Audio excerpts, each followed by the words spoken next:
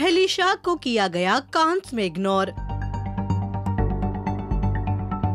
बॉलीवुड पर लगाया भेदभाव करने का आरोप. बॉलीवुड पर अक्सर टीवी सितारों के साथ भेदभाव करने के आरोप लगते रहे हैं। हाल ही में, कांस में गई हिना खान ने भी बॉलीवुड पर इल्ज़ाम लगाया था और बताया था कि कैसे वहाँ उन्हें इंडियन पवेलियन में एंट्री नहीं मिली। वहीं अब हेलिशा ने इंडस्ट्री में होने वाले डिस्क्रिमिनेशन पर बात की है। हेलिशा को कान फ़िल्म फेस्टिवल में भेदभाव का सामना करना पड़ा।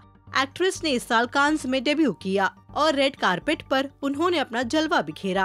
एक्ट्रेस ने बताया, टीवी एक्ट्रेस, होने की वजह से मुझे कान में नजरअंदाज किया गया, जिसके लिए मुझे बुरा महसूस हुआ। हेलिशा ने कई टीवी सीरियल्स में काम किया है और उनका मानना है कि पॉपुलर होने के बाद भी हमें बॉलीवुड एक्टर्स की तरह नहीं समझा जाता। हेली ने कहा, मैंने कई बार इस तरह की परेशानियों को झेला है, लेकिन मैंने कभी इसके बारे में कहा नहीं।